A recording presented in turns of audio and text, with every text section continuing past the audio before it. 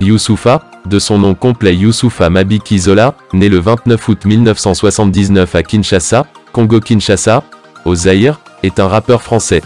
Son père est le musicien zaïrois Taboulé Rochereau. Sa mère est d'origine sénégalaise. Il est également l'oncle de la rappeuse belge Shai. Après être né et avoir grandi à Kinshasa, il arrive à 12 ans à Béziers, où il grandit avant de partir s'installer chez sa tante à Paris. Venu en France pour y poursuivre sa scolarité, il réside à Ony puis à Cergy jusqu'à sa rentrée en seconde où sa famille et lui déménage à Sartrouville dans les Yvelines. Il passe son bac et obtient la meilleure note de l'Académie de Versailles à l'oral de français, il s'oriente ensuite vers des études de médiation culturelle et communication. C'est après un cursus universitaire à la Sorbonne Nouvelle, Paris 3, qu'il se consacre pleinement à la musique. J'espère que vous avez apprécié cette merveilleuse vidéo, cliquez sur le bouton s'abonner.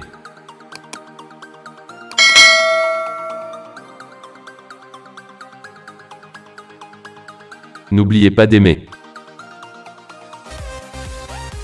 Son premier groupe est celui des Frères Lumière monté avec deux amis, et produit en partie par Rémi Sarrazin, avec qui il sort un maxi. Après plusieurs projets dont l'album Tendance du groupe Banakin, avec Sinistre Cozy Philo et Mick Jenny, il sort fin 2005 un street DVD, Éternel Recommencement, puis signe chez Hostile.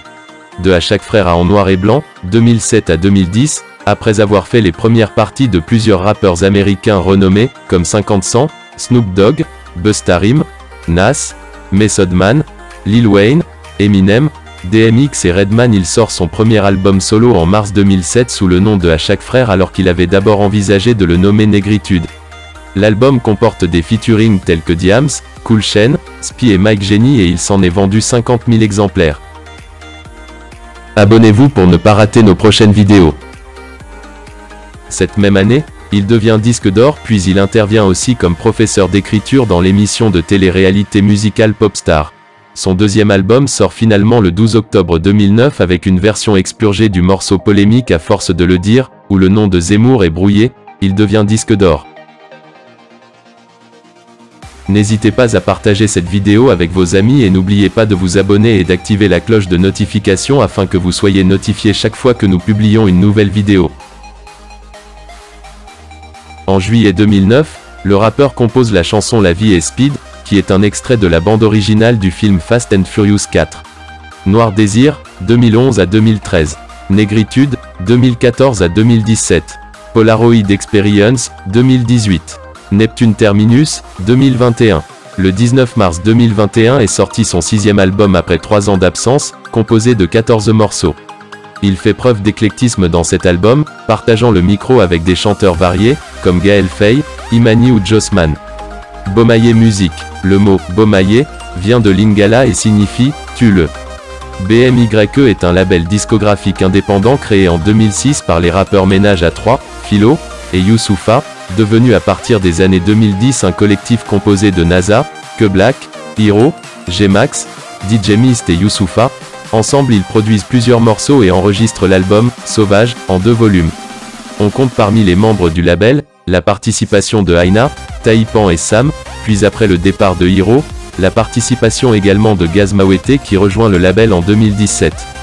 Dans les médias, en 2019, on peut entendre le titre La Foule, tiré du projet en noir et blanc, en attendant Noir Désir, en 2011, dans le deuxième épisode de la série The Boys. Engagement. Youssoufa rend hommage au militant congolais pro-démocratie Rossi Mukendi dans son clip Nyamanayo. Youssoufa participe en 2016 à la troisième édition d'Abbey Road, concert caritatif de la Fondation Abbé Pierre. Polémique. Le 25 mars 2009, le journaliste Éric Zemmour porte plainte contre lui pour menace de crime et injures publiques, et remporte son procès contre Youssoufa, après la mise en ligne de la chanson à force de le dire, teaser de l'album sur les chemins du retour, dans laquelle Zemmour est cité nommément à force de juger nos gueules, les gens le savent, qu'à la télé souvent les chroniqueurs diabolisent les banlieusards, chaque fois que ça pète. On dit que c'est nous, je mets un billet sur la tête de celui qui fera taire ce con d'Éric Zemmour.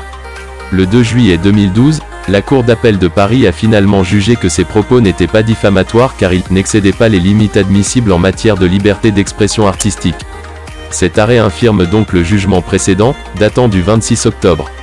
À cette époque, le tribunal correctionnel de Paris avait rendu un jugement défavorable au rappeur, le condamnant à 800 euros avec sursis, la directrice de son label EMI, Valérie Kennec, condamnés à 500 euros avec sursis, et ils devaient tous deux également payer 1000 euros de dommages et intérêts et 2000 euros de frais de justice à Éric Zemmour.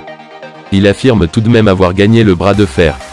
En réponse, le chanteur précise dans une interview antérieure au journal Le Parisien qu'il s'agit de le faire taire non par la force mais par des arguments, le faire taire, c'est le remettre en place.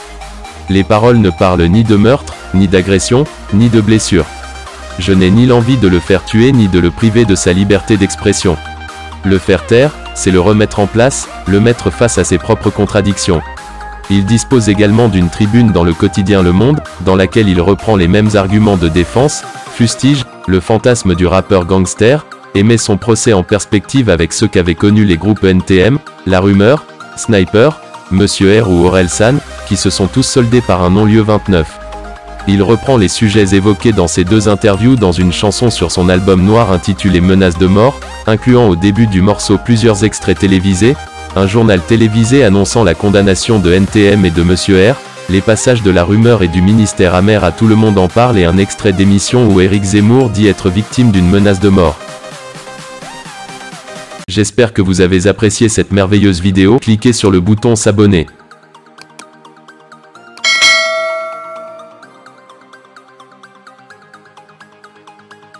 N'oubliez pas d'aimer.